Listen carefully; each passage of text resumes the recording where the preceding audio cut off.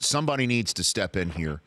And with the the 08 championship Celtics still holding a grudge en masse with Ray Allen for not calling them to say that he was leaving for the Miami Heat years ago, can we enlist you as a special envoy to try and get them together? You know, Ray was always a different cat anyway. I mean, I'm I'm amused at this uh, because Ray was, in my judgments, from my vantage point, was was with them but not of them.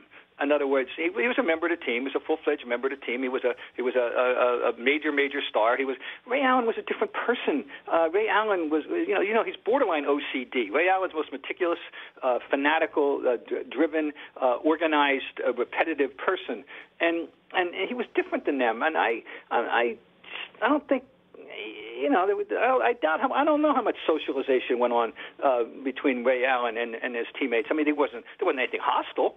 He just led a different life and had different priorities. And I'm just I don't think anyone should have been shocked at that. And I think they're making way too much of it. Yes. So, so you you will not be the special envoy to try and get them all well, together. I mean. I'm saying I I would be willing to talk some sense into their head. okay. That's what. So I mean, I guess I, I'm, uh, yo, I would do it because I just I say, hey guys, what would you expect? You know, uh, why are you acting so? so they, they sound like jilted lovers.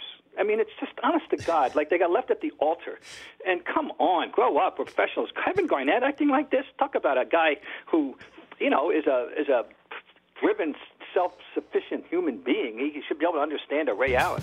The Rich Eisen Show, weekdays at noon Eastern on radio stations across the country and audience. If you liked some of that, get some more of that on the Rich Eisen Show app. Follow all the information you see right here on the Rich Eisen Show.